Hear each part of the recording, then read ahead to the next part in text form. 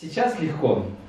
Но когда только эти вышли постановления, когда вышли регламенты, к нам был очень большой вал обращений от предпринимателей, потому что, ну, если это касалось банковских кредитов, то первое время, да, и регламенты были недоработаны, и банки-то не очень охотно шли на выдачу этих кредитов, потому что, ну, где-то и, наверное, правильно понимали, что не все смогут эти кредиты потом вернуть.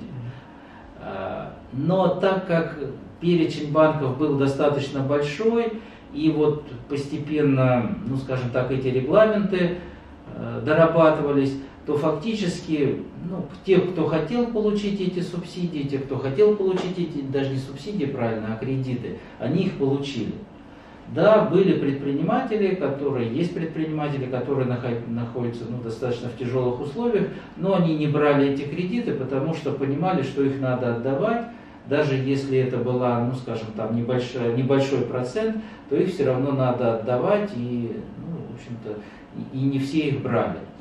Вот. Что касается э, субсидий, именно безвозвратной субсидии, но при сохранении среднесписочной численности, в рамках вот э, компенсации заработной платы, то эту субсидию получили практически все.